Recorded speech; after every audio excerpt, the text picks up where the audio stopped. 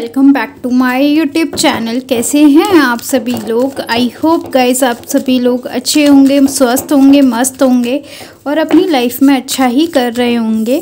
सो so, आज की reading का जो टॉपिक है वो है कि लोगों के बीच आपकी छवि कैसी बनी हुई है ठीक है? लोग आपको कैसे देखते हैं? लोगों की नज़र में आपकी छवि कैसी है? टाइमलेस रीडिंग रहेगी तो जब मिलेगी तब रेजोनेट करेगी। साथ ही जेंडर बेस्ड रीडिंग नहीं है तो आप लड़के हैं, लड़की हैं, दोनों के साथ रेजोनेट करेगी। जर्नल कलेक्टिव रीडिंग है सो प्लीज़ ओपन माइंड होके देखिएगा। जितना रेजोनेट करता है, उतना ही रखिए, बाकी का छोड़ दीजिए। और अगर आप हमारे चैनल पे नए आए हैं तो जल्दी से हमारे चैनल को सब्सक्राइब कर लीजिएगा बेल आइकन को प्रेस कर लीजिएगा। ताकि जैसे ही कोई नई वीडियो अपलोड हो सबसे पहले नोटिफिकेशन आपके पास जाए। और अगर आपको मुझसे पर्सनल रीडिंग लेनी है तो आप मुझे कांटेक्ट कर सकते हैं मेरी इंस्टाग्राम आईडी पे जो कि मैंने अबाउट सेक्शन में लिंक कर दी है। बॉटम ऑफ़ टेक आया जस्टिस का कार्ड मैं जल्दी से कार्ड्स को अरेंज कर लूँ एक बार। I hope guys card visible होंगे आप सभी को। सो so, लोगों के बीच आपकी छवि कैसी है? तो लोगों को सबसे पहले तो ये चीज़ बड़ी इंटरेस्टिंग लगती है कि आप काफ़ी ज़्यादा सीक्रेटिव टाइप के पर्सन हो मिस्टेरियस टाइप के पर्सन हो। आप ना जो बातें बोलते हो, बोलते बोलते या तो चुप हो जाते हो या प्रॉपर तरीके से नहीं बताते हो, अपने सीक्रेट शेयर करना पसंद नहीं है, अपनी पर्सनल लाइफ को शेयर करना पसंद नहीं करते हो और कहीं ना कहीं अपनी प्रोफेशनल और पर्सनल लाइफ को अलग अलग ही रखते हो, ऐसा मुझे लग रहा है।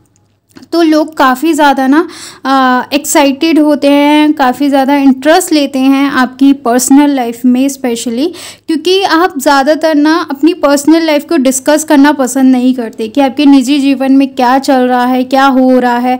और क्या इशू आ रहे हैं, कुछ भी आप डिस्कस करना पसंद नहीं करते, लेकिन हाँ ये चीज़ें हैं कि आपके फेस पे ज़रूर दिख जाता है कि आप परेशान हैं, आपकी लाइफ अच्छी नहीं चल रही है। कहीं ना कहीं आप अपनी लाइफ में ना स्ट्रगल फेस कर रहे हो इमोशनल पर्सन हो बट आप ना अपनी इमोशनल साइड को हाइड करना पसंद करते हो, अपनी इमोशनल साइड को दिखाना पसंद नहीं करते हो। क्योंकि लोग वैल्यू नहीं करते हैं, या फिर ये चीज़ है कि आप जल्दी से ट्रस्ट नहीं करते हो, क्योंकि पास्ट में कभी आपने ट्रस्ट किया हो, जिसकी वजह से आपको धोखा खाना पड़ा हो।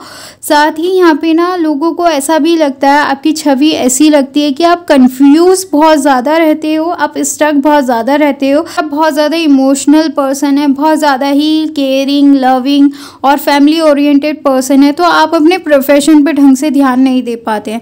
तो उन्हें ऐसा ही लगता है कि इस पर्सन को ना ज़रूरत है कि ये दोनों साइड जो होती हैं ना हमारी लाइफ की, उनको बैलेंस करना सीखे पर्सनल और प्रोफेशनल लाइफ को बैलेंस करना सीखे तो कहीं ना कहीं आप उन्हें थोड़े स्टक टाइप के पर्सन भी लगते हो कंफ्यूज टाइप के पर्सन लगते हो।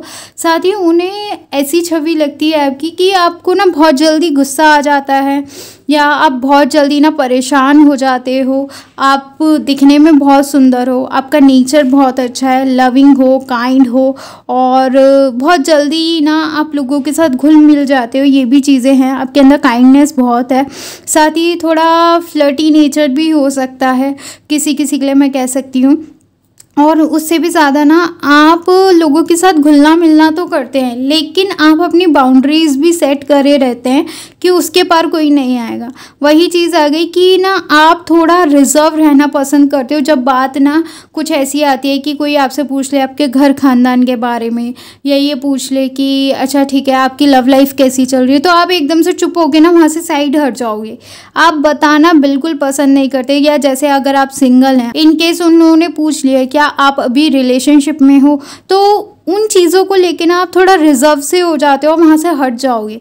साथ ही उन्हें ये चीज़ बड़ी अच्छी लगती है, या वो ऐसे ही आपको व्यू करते हैं, या उनके नज़र में आपकी छवि ऐसे ही है, कि आप काफ़ी नॉलेजेबल पर्सन हैं विजडम को कैरी किए हैं, काफ़ी विजडम है आपके पास, और एक पावर भी है। मतलब अपने इमोशंस को कैसे हाइड करना है, अपनी इमोशनल साइड कितनी दिखानी है, वो चीज़ों का कंट्रोल आप पर बहुत अच्छा है। क्योंकि कोई कोई इंसान जो होता है ना इमोशनल पर्सन होता है।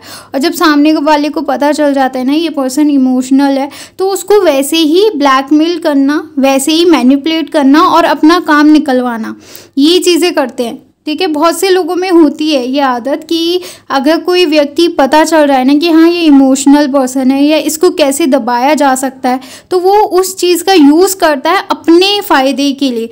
इसी वजह से कहीं ना कहीं या तो आपके साथ पहले ऐसा हुआ है कि पास्ट में आपने किसी पर ट्रस्ट किया इमोशनली आपने किसी को फ्रेंड माना और उस इंसान ने आपको धोखा दिया या आपने किसी से अपने सीक्रेट शेयर किए थे, उस इंसान ने आपके सीक्रेट को यूज़ किया अपने मतलब के लिए, ठीक है? कुछ भी हो सकता है। तो वही चीज़ है जिसकी वजह से ना आप बहुत ज़्यादा सिक्रेटिव और मिस्टेरियस टाइप के पर्सन बन गए हैं। कहीं ना कहीं ना वही चीज़ों ने और भी ज़्यादा ना उत्सुक करती है आपके बारे में जानने के लिए कि भाई इस व्यक्ति के बारे में जानना है इसने इतनी नॉलेज कैसे गेन की, या ये क्या करता है अपनी लाइफ में, और आप काफ़ी हाईली एजुकेटेड पर्सन होंगे और काफ़ी रूटेड ग्राउंडेड पर्सन होंगे। साथ ही यहाँ पे ये भी चीज़ें हैं लोगों की नज़र में कि आप एक ऐसे पर्सन है जो अपने ट्रेडिशन को काफ़ी फॉलो करता है रिलीजियस टाइप का पर्सन है और आप काफ़ी कम बात करते हो, वो चीज़ें भी मैं कह सकती हूँ। साथ ही आपके अंदर ना एक स्ट्रॉन्ग पावर है। आप एक साइकिक भी हो सकते हो, एक टैरो रीडर भी हो सकते हो हीलिंग मोडालिटीज़ से जुड़े हो, ऐसा हो सकता है। बाकी आपको चैलेंजेस लेना बहुत पसंद है। अगर आपकी लाइफ में ना कोई भी ऐसा इंसान है जो आपको चैलेंज कर रहा है कि आप ये काम नहीं कर सकते। तो आप वही काम करके दिखाते हैं ये वाली चीज़ें भी हैं। साथ ही आप आर्ग्यूमेंट वगैरह में पढ़ते नहीं हैं लेकिन कोई अगर आपको परेशान कर रहा है तो, तो फिर आप अपनी पावर दिखाना भी जानते हैं। आप लॉ फ़ील्ड से हो सकते हैं मेडिकल की पढ़ाई की हो ऐसा हो सकता है। इंजीनियरिंग किए हों ऐसा हो सकता है? या फिर आप एक किसी तरीके के कंसल्टेशन वगैरह लेते हो? हीलर हो सकते हो इन्फ्लुएंसर हो सकते हो।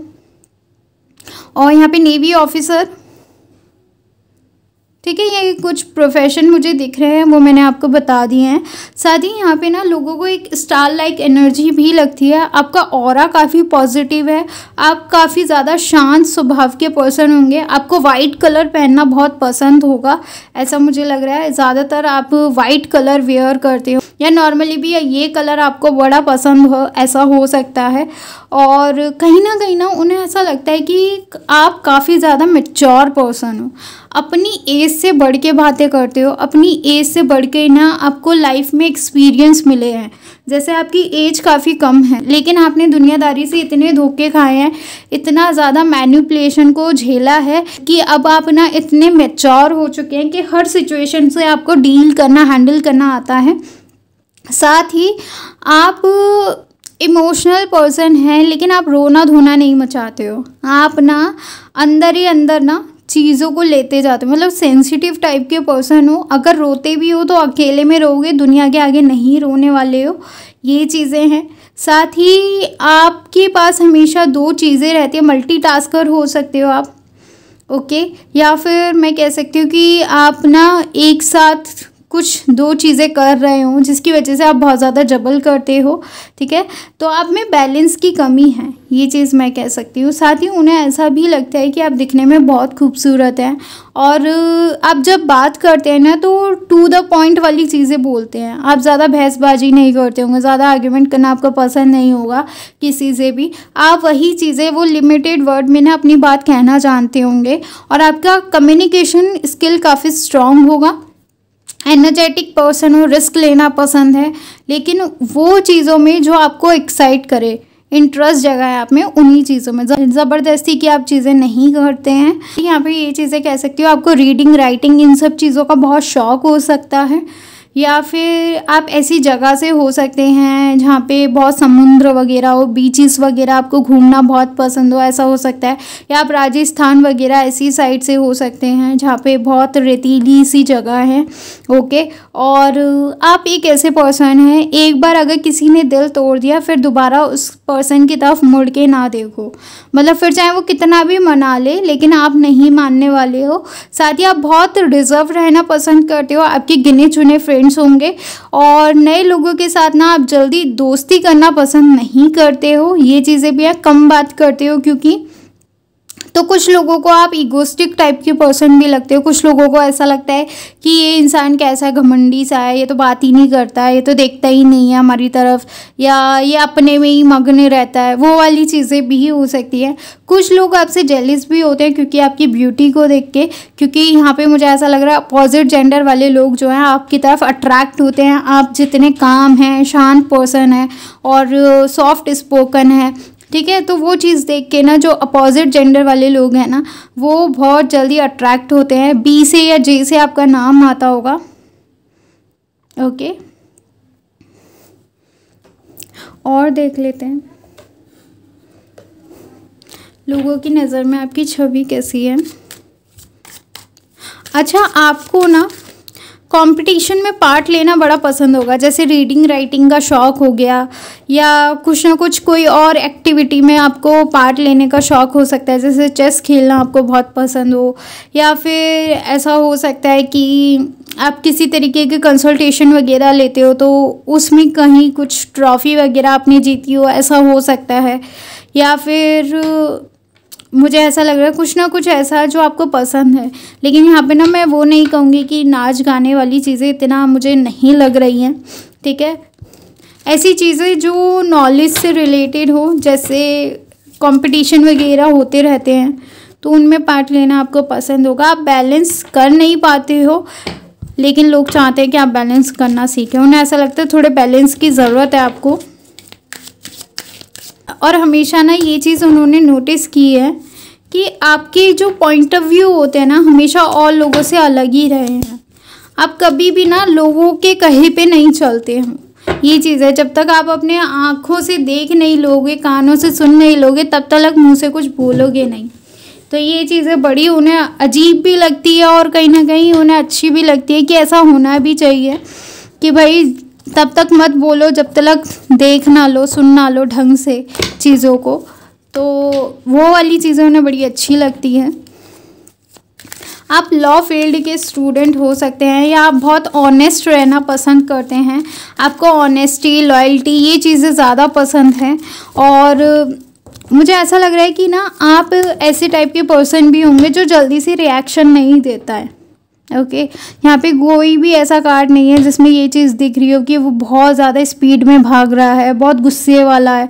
वो चीज़ें नहीं हैं। आप बहुत काम शांत रहना पसंद करते होंगे। जल्दी से ना आप स्टैंड लेना, जल्दी से चीज़ों के लिए एक्साइट होना, वो वाली चीज़ें नहीं है। कामनेस है आपके अंदर। तो कभी कभी लोगों को लगता है कि भाई ये बहुत कोल्ड हार्टेड पर्सन है। या अपने में बहुत ज़्यादा रहते हो ना आप तो उन्हें ऐसा लगता है कि ये कैसा इंसान है, अपने में ही खुश रहता है, अपनी कंपनी इंजॉय करता है, ज़्यादा किसी से बात नहीं करता है। वो वाली चीज़ें उन्हें ज़्यादा लगती है। मे बी आपके वर्क प्लेस पे लोग होंगे, एक दूसरे के साथ गॉसिप करते होंगे, लेकिन उन्होंने हमेशा आपको ऐसे ही देखा है कि आप अपने में ही मग्न हो। ज़्यादा किसी से ना बेवजह की गॉसिप या चिटचैट में नहीं पड़ते हो आप।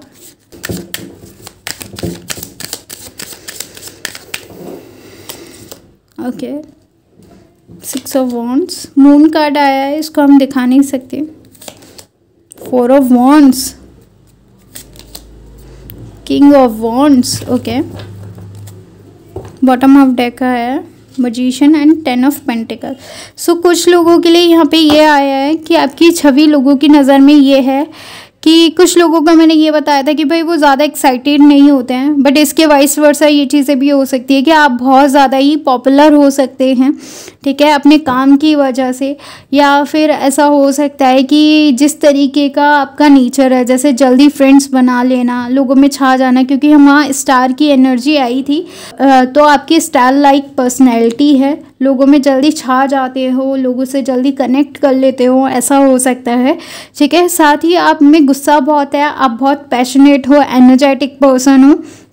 तो जो पहले बताया था ना, उसकी बिल्कुल अपोजिट ये चीज़ें आई हैं कि एक्साइटेड रहते हो इंटरेस्ट लेते हो नई नई चीज़ों में और कहीं ना कहीं ना आपको जीतना पसंद है, कहीं ना कहीं आपको रिस्क लेना पसंद है। साथ ही लोगों को ऐसा लगता है, लोगों की नज़र में आपकी छवि ऐसी है कि आप बहुत अच्छे वेडिंग प्लानर हो ठीक है? किसी की आपने प्लान की हो या आपको इस चीज़ में इंटरेस्ट हो, ऐसा हो सकता है, या आपका कोई काम हो, ऐसा हो सकता है डेकोरेशन वगैरह का ओके या आपका खुद का बिज़नेस हो सकता है। साथ ही उन्हें ऐसा लगता है कि आप बहुत अच्छे से अपनी रिस्पॉन्सिबिलिटी निभाना जानते हैं, आपको पता है कैसे काम करना है, कैसे बात निकलवानी है, कैसे अपने बिज़नेस को आगे बढ़ाना है, वो चीज़ें। साथ ही यहाँ लोगों की नज़र में आपकी छवि ऐसी भी है कि आप अपनी मम्मा के साथ बहुत ज़्यादा कनेक्टेड है।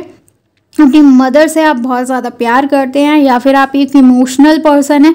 तो जल्दी रोना भी आ जाता हो, वो चीज़ें हो सकती है। बट यहाँ पे मुझे जो लग रही है चीज़ें कि आप में ना आ, ये सबसे इंटरेस्टिंग होने लगता है कि आप ना रेडी रहते हो रिस्क लेने के लिए आप रेडी रहते हो नई चीज़ों को सीखने के लिए आप रेडी रहते हो गलतियाँ करने के लिए क्योंकि आपको ये चीज़ लगती है कि भाई गलती करेंगे नहीं तो सीखेंगे कैसे? साथ ही लाइफ के लेसन आपको ऐसे ही मिले हैं बहुत अच्छे मैनिफेस्टर हो बहुत जल्दी चीज़ें मैनिफेस्ट कर लेते हो कहीं ना कहीं उनको ऐसी भी लगता है कि आपकी लाइफ अच्छी है आप काफ़ी ब्लेस्ड पर्सन है यदि आप काफ़ी लकी हैं आपके पास किसी चीज़ की कमी नहीं है जैसे आपके पास पास प्यार भी है, आपके पास काम भी है, आपके पास फाइनेंस भी है और आपके पास वो घर वगैरह सब ज़रूरत की चीज़ें हैं तो वो चीज़ें लगती हैं, उन्हें उन्हें ऐसा लगता है कि भाई ये इंसान की ना लाइफ अच्छी है। तो आप या तो ऐसा प्रिटेंड करते हैं या उन्हें ऐसा लगता है कि आप काफ़ी ज़्यादा ब्लेस्ड पर्सन है।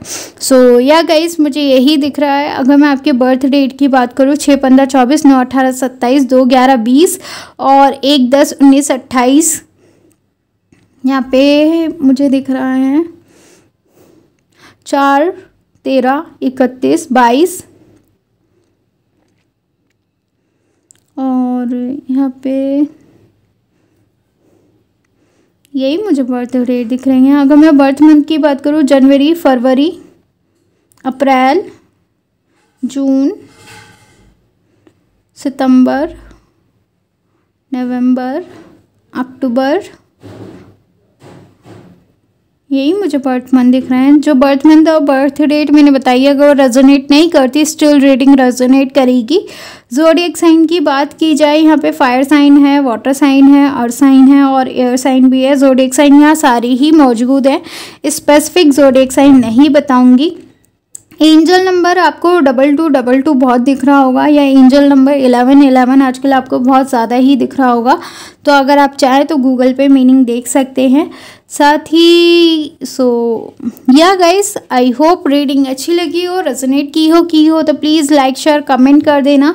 चैनल को सब्सक्राइब ज़रूर करना, मुझे ज़रूर बताना रीडिंग कैसी लगी। मैं मिलूँगी नेक्स्ट रीडिंग के साथ, तब तक ले बाय